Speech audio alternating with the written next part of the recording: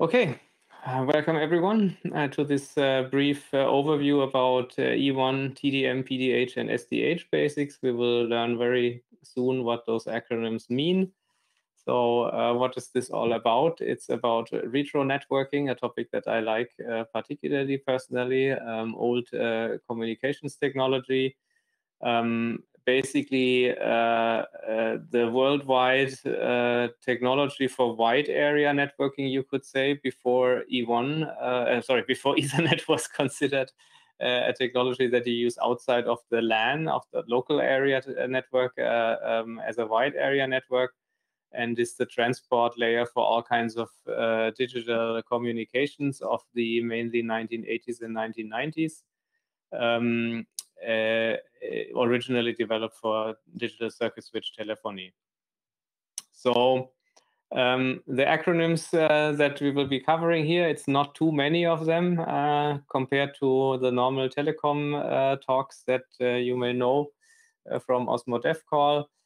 Um, so we have TDM, the time division multiplex, um, which exists also in GSM and in LTE. Um, but here we are talking about a circuit uh, switched uh, copper or um, uh, fiber-based uh, time division multiplex, which means that uh, we have multiple streams of information that get multiplexed into one uh, particular medium by chopping it in chunks of time and assigning time slots to it, and then uh, thereby facilitating multiple streams in, in a single medium. There is uh, PDH, the plesiochronous uh, digital hierarchy. We will get to what that exactly means, um, which is the, the first and older TDM uh, technology covering a number of different data rates. Uh, the E1 or T1 or J1 in Japan uh, are the most commonly known variants of uh, this family of systems. And last but not least, there is SDH, the synchronous digital hierarchy, which is also TDM multiplex at various rates with some differences, which we will cover. And if you ever heard of an STM1 link or uh, for the Americans an OC3 link, then uh, this is part of the SDH uh, system of um, uh, transmission. So what uh, looking at PDH first, uh, what what is this about? Uh, this is uh, very important to note that we're talking about point-to-point -point interfaces between two ends. We're not talking about some kind of network technology uh, like Ethernet or Wi-Fi, where you have multicast and broadcasts and multiple participants. It's point-to-point -point interface between two specific locations. Uh, we have a transparent bit stream with specified bit clock. Um, so um, bit stream meaning that uh, fundamentally uh, there is no um, um you don't know where well you need an additional layer on top of it in order to de delimit bytes and packets inside this bit stream so it's really uh, unaligned bit stream um, often uh, this bit stream is divided into a number of 64 64 kilobit time slots. I'm saying often because it's not always the case. Um, that's uh, one of the strange parts of this technology. Um, but in uh, most uh, incarnations, you will find uh, one of these time slots uh, being used for framing. That's time slot zero, uh, which is really just to detect the starter frame signaling and signaling of, of CRC failures and so on and uh, is not usable for user plane uh, data or signaling. And then also one other time slot is often used for the telephony related signaling um, in, in these technologies. So why 64 kilobit time slots uh, in all of this? Uh, well, it was all developed for telephony, for digital uh, transport of telephony. And uh, we need a data rate that is sufficient for a, a classic voice call.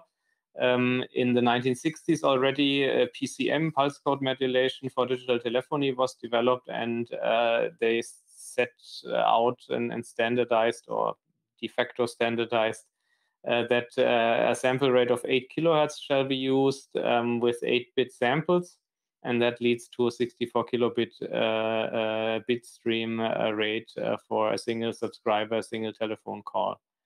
Um, these 8-bit samples are not linear, but somehow weighted, uh, the quant quantization. Um, So uh, there's curves uh, which uh, indicate uh, how significant each of those bits is. Uh, there's two of them. There's U law and A law, also called PCMU and PCMA, uh, used in different regions around the world. Internationally, A law is basically the standard. Also, in international calls in general, A law is used, and U law is really just North America and Japan.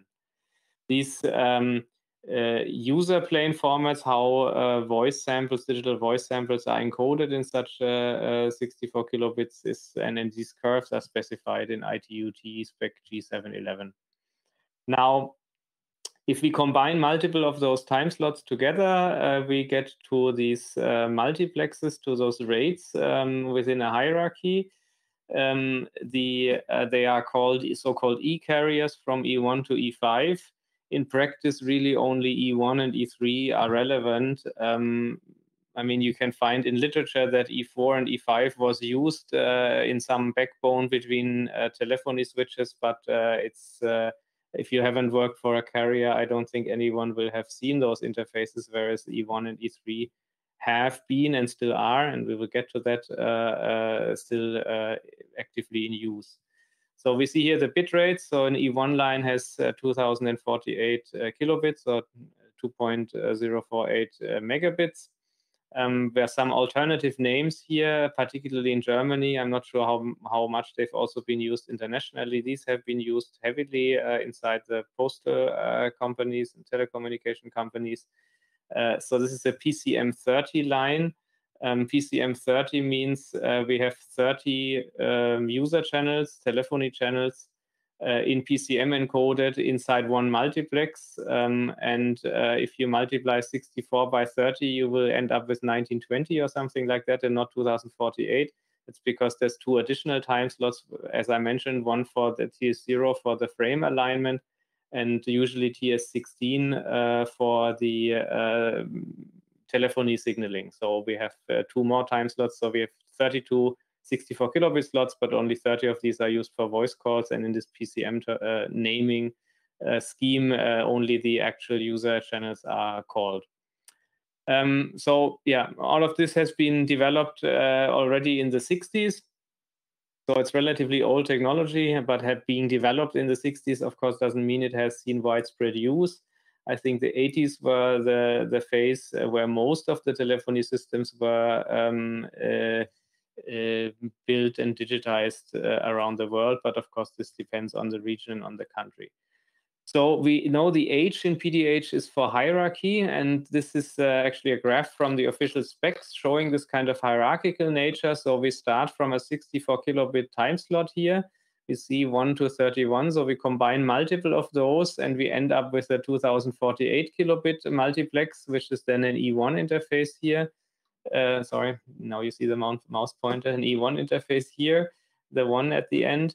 And if we combine one to four, so four of these E1 interfaces, we end up uh, in an E2 multiplex, which has, of course, four times the bit rate.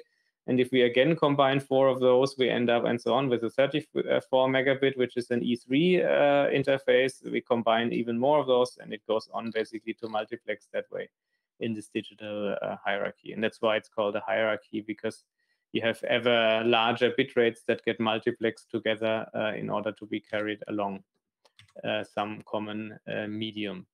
So where was it used? Really globally, uh, everywhere. It was the backbone of worldwide telephony networks.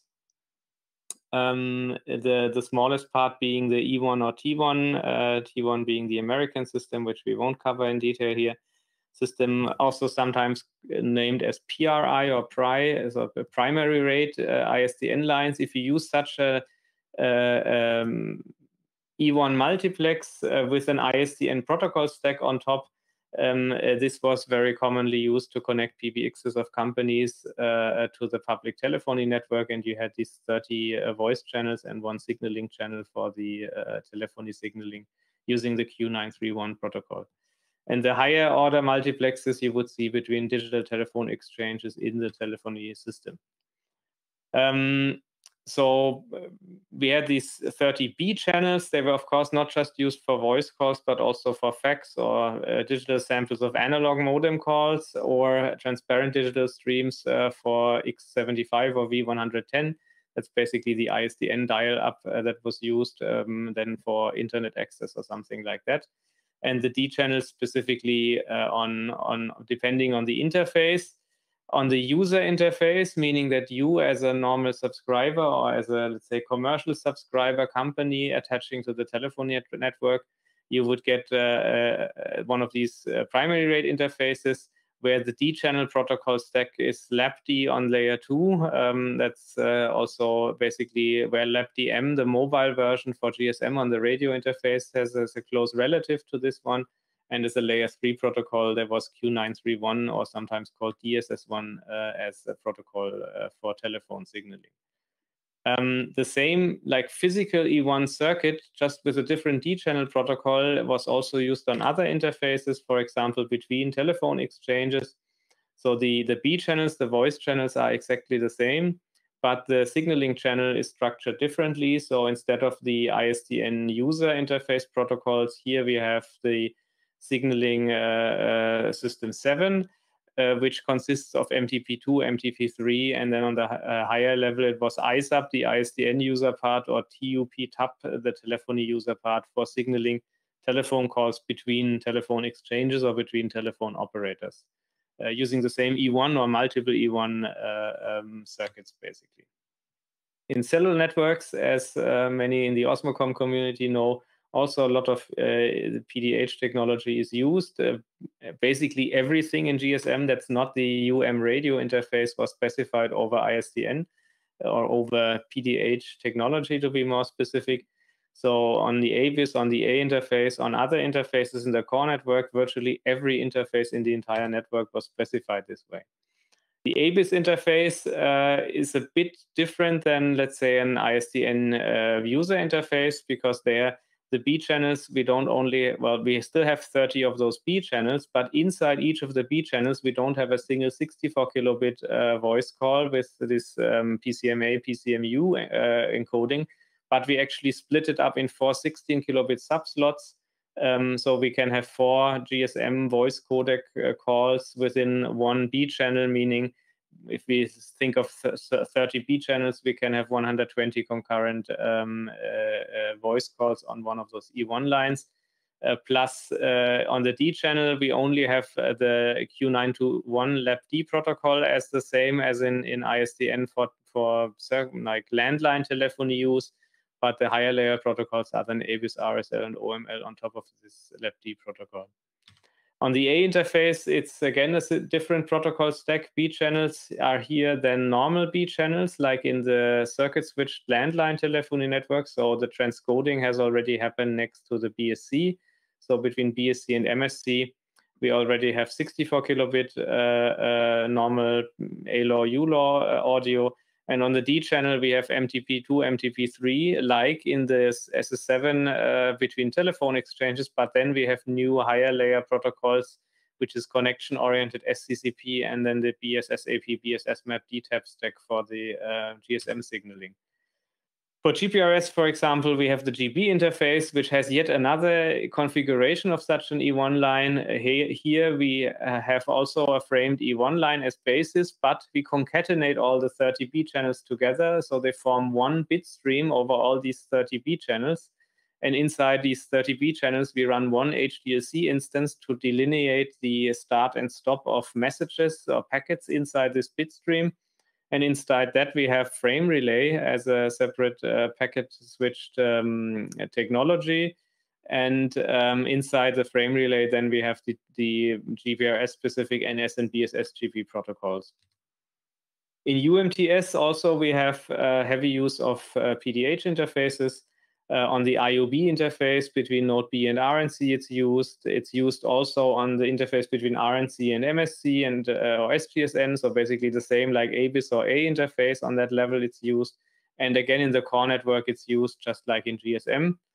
The added complexity layer, since UMTS was universal and ATM was quite hip in the late 90s as the coming technology that was coming but then disappeared very quickly, uh, is ATM So in the IUB interface between a, a base station, a node B, and the RNC, actually it's not just an E1 line uh, with ISDN uh, specific protocols like in the GSM case, but they added an additional layer of ATM in there, particularly with the nasty inverse ATM multiplex, which means you take four E1 lines uh, and then sort of have something like uh, link aggregation in Ethernet, uh, and then you run ATM over that to, to talk to your base station. Um, PDH was also used for broadband internet access with frame relay, um, where again you have a physical E1 line, uh, but not ISDN and telephone calls, but frame relay inside, very much like the GB interface, with the difference being that you have directly IP packets inside frame relay and not this GPRS specific uh, intermediate uh, protocol stack. Furthermore, also inbound internet dial-up as an ISP. So if you are an ISP in the 90s, you would get many of those E1 lines or even higher order multiplexes. Um, and then uh, you wouldn't connect a, a, PBX to it, but you would uh, connect modem banks uh, to terminate uh, these E1 lines, each of them with 30 inbound uh, subscribers dialing into your internet service provider. So that's yet another use case uh, where PDH technology was used. Now, after all this history, where is TDM still being used uh, today?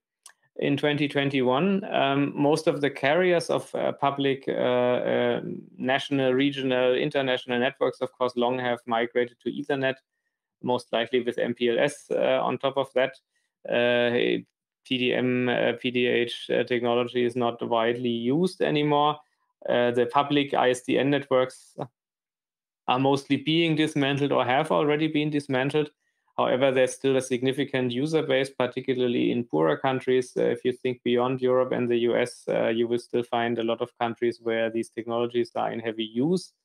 Um, and still, even in in in uh, modern um, industrialized countries, you have a number of private telecommunication networks, such as those of railway operators or corporate telephony networks, where uh, PDH is still in use, or even SDH, um, which we will get to in a second. Also, in cellular operators, um, uh, PDH is not fully uh, removed yet. Uh, so even in uh, Germany, um, you will still find base stations that have an ABIS interface over E1. Maybe that E1 line is only what one, two, three, four meters long, and then you have some uh, some equipment uh, that performs um, uh, basically um, a transport uh, of encapsulation of this E1 over Ethernet or, or over MPLS or L2TP or some other technology, basically a, a TDM over packet uh, gateway, but uh, you still have some meters of E1 lines in even in in uh, today in, in, GSM networks uh, in Western countries. Um, likewise, on the other interfaces, um, I think IUB is unlikely to be found uh, anymore since 3G networks are switched off in, in European countries, but you, you see those still um, occasionally. Um, now, SDH is the more modern technology of the TDM principle. Um, uh, it was uh, developed in the 1980s, so not the 60s, but the 80s. Um, and the main difference between those two is, as the name already implies, in PDH we have this uh, plesiochronous technology, and in SDH we have synchronous. Now, what does that mean? Um, plesio means almost in Greek, um, so it's basically almost uh, synchronous, the clock between the devices in a network. Um, however, the clocks, uh, it was not feasible at that time when these uh, technologies were uh, developed to synchronize the clock over a countrywide or even an international network. And thereby the clocks were allowed to drift uh, to each other by up to 50 ppm. And that means, of course, that somehow, uh, if let's say uh, you're sending uh, with a certain uh, clock rate data and you have a multiplexer that multiplexes into a higher order interface and the clock has a slightly different uh, clock rate, you have drift. And that means you need to use bit stuffing to basically um, uh, fill the gaps uh, um, uh, between those different clock rates or drop bits in the inverse direction if the clock rates are different. Um, and in SDH, uh, the network is really synchronous, so uh, you can run the entire network with the identical clock uh, that's synchronized, and you don't have uh, bit slips, cycle slips, um, and you don't need bit stuffing anymore, uh, and uh, things get much easier. It also leads to much less complex and therefore less expensive multiplex equipment um, because uh, in in PDH uh, any device that demultiplexes and remultiplexes the streams would have to do the bit stuffing to get down to the uh, unstuffing to get down to the 64k slots and before remultiplexing them. And in SDH, you can, since everything is synchronous, you can very easily uh, take a, a one lower bitrate time slot out of a higher bitrate uh, um, stream uh, and or or add add and drop such streams from from larger multiplexes. Um, and uh, as a result, ever since SDH became more widespread in the late 90s, uh, late 80s, um, particularly in the 90s, uh, PDH was only used for E1 or E3 on the access level to connect to a network, but then uh, the carriers uh, would actually uh, use SDH on their end. Now, SDH rates, uh, the, according to the spec, are these. There are some others uh, that sometimes are used, uh, but you can actually see um, this is from 51 megabit up to already 39 gigabit of, of um, data rates. The most commonly ones uh, that people would recognize is STM1 with 155 megabits and STM4 with 602 megabits. Um, here's the specification numbers for those who want to look at it. And one of the interesting bits is that SDH can not only carry uh, SDH signals, but there's basically a compatibility layer how PDH signals can be multiplexed into SDH. So you can run an STM1 line, um, uh, which is this 155 megabit uh, stream, and you can uh, basically uh, multiplex 63 E1 lines into such an STM1 um, circuit. And there are uh, multiplexers uh, devices uh, that do this. I have a luckily I now have a couple of these in my basement to play with. Um, so uh, you really have 63 uh, RJ45 sockets with E1 lines and one SFP transceiver for the for the STM1, and uh, it just converts and multiplexes those two interfaces. Yeah, and that was the quick tour de force on the basics of uh, TDM, SDH, PDH. Um, and uh, at this point, uh, we can ask for some questions if anyone has one. Questions on the record at this point. Why did it? I mean, if they went, if they went to the trouble of uh, of going synchronous with SDH, why didn't they go synchronous with the E1 lines that they're multiplexing in there? because uh, the E1 lines uh, might still have different clocks. Uh, so you have an SDH network that's synchronous, but you interface with PDH networks that have 50 ppm drift or can have 50 ppm drift. Okay, right. Yeah, but I mean, okay, yeah. Yeah. If if you create a new network from scratch, uh, then of course you you could make sure that all of the uh, E1 lines that you connect to your SDH are synchronous. And I think there is even a, a a spec for doing synchronous E1 uh, in in in uh, um, in SDH. But yeah, but not... what they call synchronous is, is not even what I call synchronous because there, there is still bit stuffing in there. Like it's just yeah, there was no simple case uh, when last time I looked at the spec, and I was wondering like because you know if, if those E1 lines go to a BTS or something like that, like the BTS is gonna basically slave itself to the e, to the E1. So if the multiplexer becomes the clock master, the E1 is gonna be perfectly synchronous, and you can have you can avoid all the uh, all the crap they put in the in there to, to encapsulate E1 in STM and have a nice, you know, precisely. Yeah. I, I think the point is you don't have to be 50 ppm off. You can, of course, run your E1 network with a strict clock hierarchy, but there in the old times there just wasn't a requirement that you have this strict hierarchy. So you could have some islands that are just drifting. They are a little bit fast in the morning and slow in the evening, and there you have all these drop bits and insert bits slots in your in your frames basically for this case. But you don't have to. I mean, if everything yeah, yeah, is course, synchronous, course, it just never happens. But uh, yeah, I wish they included like a true synchronous mode in the spec, uh, like an easy mode. Yeah, so some, something like an STM 0.25 or something like that. um, where then, yeah, I, I get your point.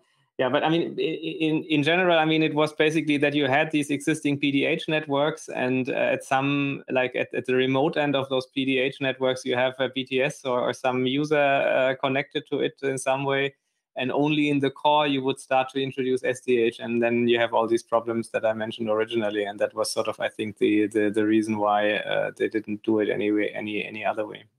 Hi. Um, I'm kind of always interested a little bit in the physical mediums that these things are run, we're running over. I mean, when you talk about you know this E1 multiplexed into an E3, then for you know exchange to exchange uh, communication, what what kind of physical mediums was this? Was this copper wires? How long did how far could they be, or what kind of amplification equipment was in between, or how did all that work? Do you know?